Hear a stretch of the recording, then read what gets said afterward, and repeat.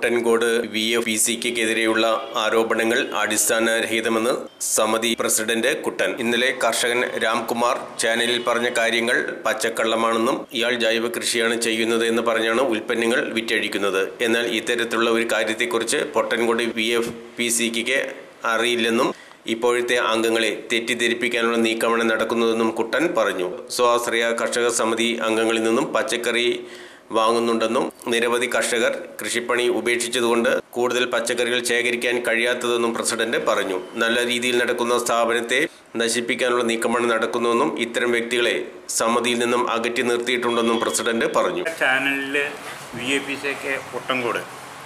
എതിരായി ഒരു പ്രസ്താവന കണ്ടു. സമിതിക്കെതിരെ പ്രസ്താവന കണ്ടു. അതിൽ വ്യക്താക്കിയതൊന്നും ശരിയല്ല സത്യവിരുദ്ധമാണ്.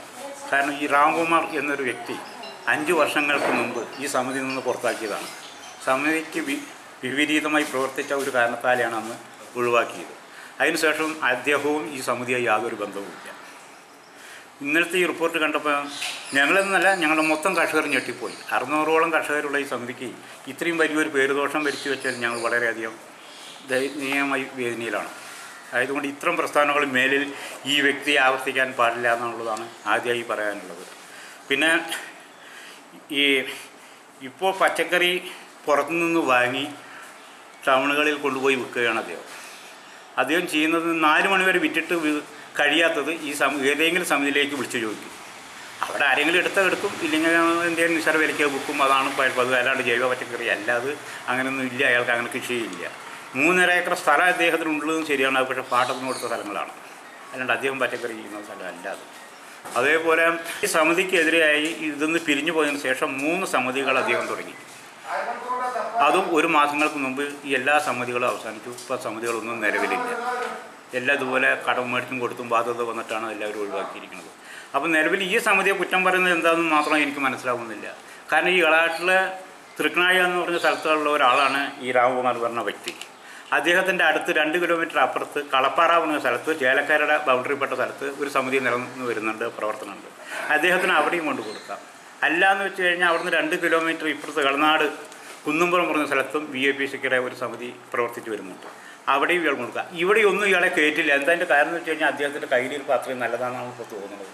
അപ്പോൾ പത്ത് കിലോമീറ്റർ അകലെയുള്ള ഈ പൊട്ടംകോട് സമിതിയിൽ ഈ സാധനം എടുക്കണമെന്നും അല്ലെങ്കിൽ ചെയ്യണമെന്നും പറഞ്ഞ് ഈ റിപ്പോർട്ട് ചെയ്തതിൽ ഖേദിക്കുന്നു. മേലിൽ ഇത്ര ഒരു പ്രവർത്തനം അദ്ദേഹത്തിന്റെ ഭാഗത്ത് ഉണ്ടാകരുത് എന്ന് മാത്രമേ ഈ സമിതിക്ക് വേണ്ടി ഇപ്പോൾ പറയാൻ ആഗ്രഹിക്കുന്നു. അല്ല അപ്പോൾ ഇയാളിപ്പോൾ ഈ സമിതിയിലില്ല. ഈ പൊട്ടൻകോട് സമിതിയിൽ നിന്ന് ഇയാൾ ഒഴിവായി. ഒഴിവായി അഞ്ച് വർഷങ്ങളായി. ഇയാൾ ജൈവ കൃഷിയാണ് ചെയ്യുന്നതുകൊണ്ട് അതൊന്നും യഥാർത്ഥങ്ങളല്ല.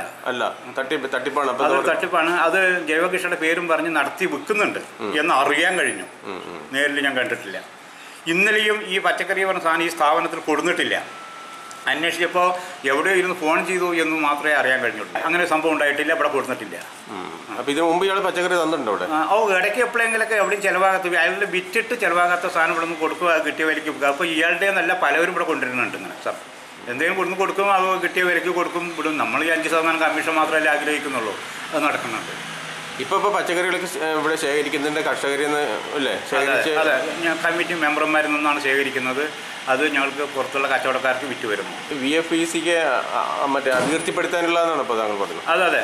അതിനു വേണ്ടിയാണ് അദ്ദേഹം ഈ പ്രസ്താവന കൊടുത്തിരിക്കുന്നത്.